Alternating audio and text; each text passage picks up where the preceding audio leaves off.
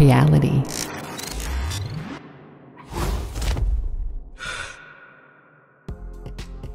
Hi, I'm Derek at Reality, and today I'll be demonstrating the second generation BLK360 from Leica Geosystems.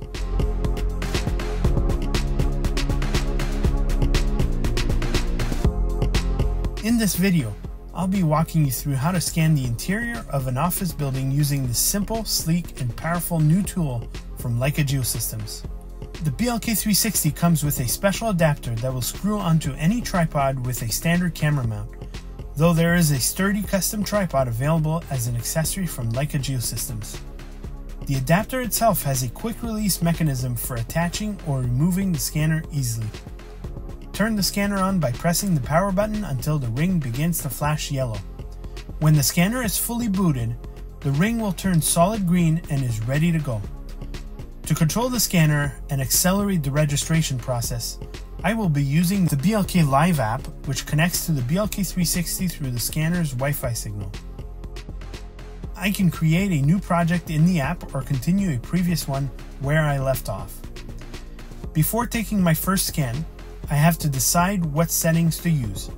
Depending on the options you choose, the scan can take anywhere from 7 seconds to about a minute and a half. To begin scanning, hit the play button on the app or press the power button on the scanner. The ring will start flashing yellow.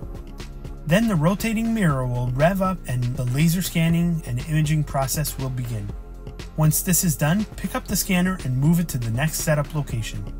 This is when VIS is working, so make sure that the cameras are facing forward and are unobstructed for best results. Hit play again to start your next scan.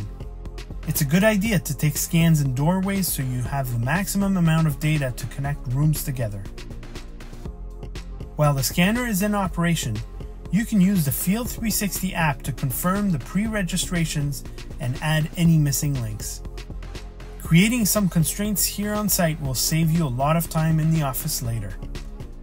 You can move and rotate your setups in the app to line them up properly. Also, it's usually nice to square off your first setup with the screen so that the rest of your setups follow and aren't at an angle.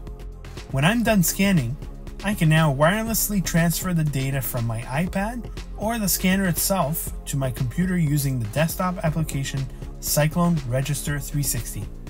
I can also transfer the data using the included USB-C cable for greater speed. We look into Cyclone Register 360 in more depth in other videos.